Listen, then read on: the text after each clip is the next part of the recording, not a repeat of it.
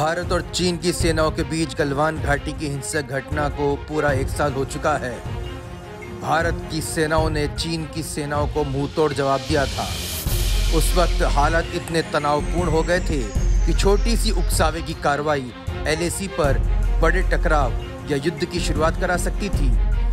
भारत और चीन के बीच कई दौर की बातचीत चली, कभी बेनतीजा तो कभी पीछे हटने जैसे अहम फैसलों पर सहमति बनी। सीमा पर संघर्ष और तनाव के बीच लद्दाख के पूर्वी इलाकों, पेंगोंग, तसो, झील सहित तनाव वाले कई क्षेत्रों में दोनों देशों की सेनाएँ महीनों तक एक दूसरे के सामने खड़ी रही।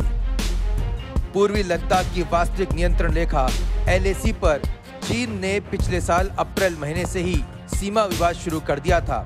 इसके बाद 15 जून को मामले में तब हिंसक रूप ले लिया जब गलवान घाटी में भारत और चीन की पीपल्स लिबरेशन आर्मी आमने सामने की स्थिति में आ गई थी, इस हिंसक टकराव में भारत के 20 जवान शहीद हो गए थे, जबकि चीन के भी 40 से ज़्यादा जवान मारे गए थे।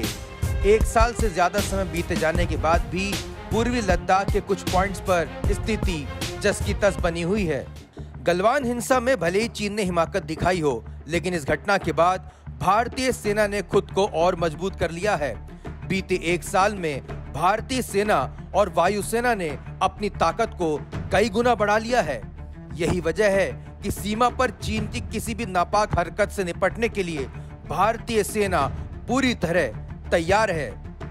भारतीय वायुसेना की बात करें तो एक साल में जहाँ भारतीय सेना ने लद्दाख सेक्टर में अपनी उपस्थिति मज़बूत कर ली, वही राफाल लड़ाकू विमानों को अपने बेड़े में शामिल करके भारतीय वायुसेना पहले से ज़्यादा ताकतवर हो चुकी है। रफाल के साथ मिग टू नाइन और सुखोई तीस बेड़े उत्तरी सीमाओं पर आसमान में हावी रहे हैं और दूसरी स्क्वाड्रन कुछ समय के भीतर ही संचालन के लिए तैयार हो जाएगी। चीन से सटी हुई सीमा में भारत ने अपना इंफ्रास्ट्रक्चर पर काम करना भी शुरू कर दिया है। गलवान हिंसा के बाद इस काम में और भी तेज़ी आई है। बॉर्डर रोड ऑर्गेनाइजेशन यानी BRO सड़क को सुगम बनाने के लिए दिन रात काम में जुटा हुआ है। दुनिया की सबसे ऊँची मोटर योग्य सड़क, उमलिंग लॉ, मार्समिक लॉ या खारतुंग लॉ सहित सभी क्षेत्रों में सभी फॉरवर्ड जगहों के लिए सड़क संपर्क में सुधार किया गया है।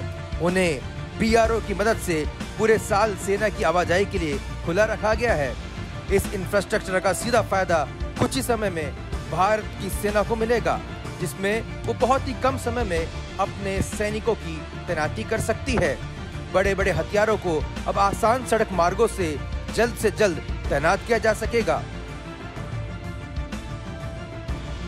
भारतीय वायुसेना प्रमुख आर के एस भदौरिया ने भी कहा है कि तेज़ी से बदल रही सुरक्षा चुनौतियों और पड़ोस और अन्य क्षेत्रों में बढ़ती भू राजनीतिक अनिश्चितताओं के मद्देनजर भारतीय वायुसेना प्रौद्योगिकों को तेज़ी से शामिल करके परिवर्तन के महत्वपूर्ण दौर से गुजर रही है।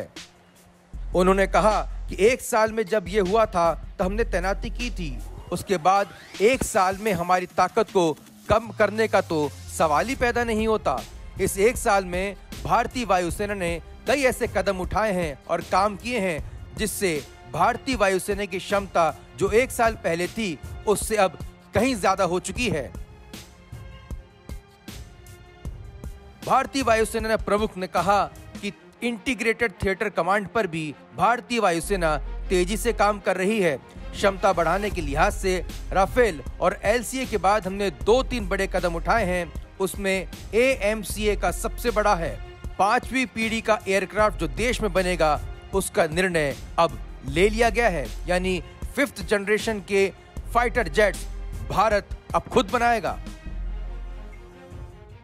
इंटीग्रेटेड थिएटर कमांड का डिस्कशन चल रहा है उसके डेलिब्रेशन शुरू हो गए हैं हायर लेवल पे एंड एंड वो deliberation are now progressing so जैसे जैसे पिक्चर क्लियर होगी जैसे जैसे डिसीज़न लिए जाएँगे जो decision with respect to integrated integration jointness theater commands would be taken. So it is the process that is uh, gathered steam and uh, it is moving. Uh, in terms uh, Rafael के बाद uh, Rafael के contract के बाद parallel में हमने S का किया माधवा ने। सो so, साढ़े तीन साल में वो इंडक्शन शुरू होगा। एंड उसके बाद हमने जो दो तीन मेजर स्टेप्स लिए हैं उसमें सबसे बड़ा है एमका का। तो फिफ्थ जनरेशन एयरक्राफ्ट जो इंडिजिनसली प्रोड्यूस होगा वो डिसीज़न इन प्रिंसिपल ले लिया गया है। तो वो हमारी इंडस्ट्री के साथ होगा। समझा जा सकता है कि चीन की सीमाओं पर बढ़ती चुनौती के मद्देनजर भारत उन्नीस सौ बासठ जैसी कोई भी गलती अब दोहराना नहीं चाहेगा। भारत ने गलवान घाटी पर हुई हिंसक झड़प के दौरान ये साबित कर दिया कि अब भारत वो उन्नीस सौ बासठ वाला भारत नहीं रहा है। ये नया भारत है जो कि अपनी रक्षा करना और दुश्मन को मुँह तोड़ जवाब देना बखूबी जानता है। भारतीय वायुसेना इसमें एक बड़ा किरदार निभा सकती है। इसलिए भारतीय वायुसेना को तेज़ी से अत्याधुनिक तकनीकों से लैस किया जा रहा है और तमाम अत्याधुनिक विमानों और सुरक्षा उपकरणों से लैस किया जा रहा है। अगर आपको इंडिया फ़र्स्ट का ये वीडियो पसंद आया तो इसे ज़रूर लाइक करें, सब्सक्राइब करें। आपका एक पुश बटन हमारे हौसलों को भी बढ़ाता है। जय हिंद, जय भारत।